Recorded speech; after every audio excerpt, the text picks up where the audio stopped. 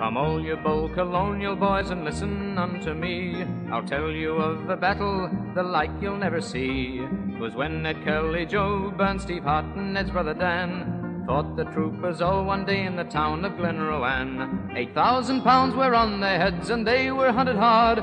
They stood at old Glenrowan to play their final card. The traitor Sherritt was no more, Joe Byrne had seen to him, and yet 'twas he who caused them all this plight that was so grim. They holed up in the hotel there, you've heard of it, no doubt. The troopers all surrounded them and told them to come out. The outlaws answered with their guns and wounded Trooper Hare.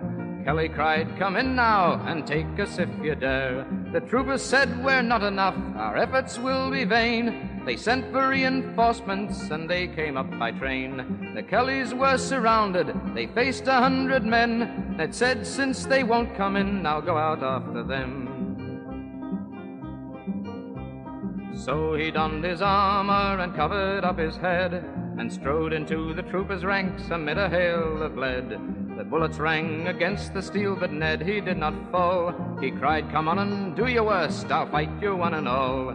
Then Sergeant Steele ran up and fired at Ned and brought him down. He tried to keep on fighting as he lay upon the ground, but the pub was burning now. Ned knew his mates had done, quickly ran the word around that Kelly's race was run.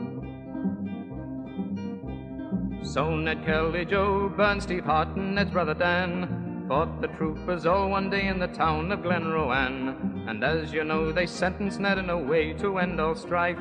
And all he ever said to that was, Well, now such is life.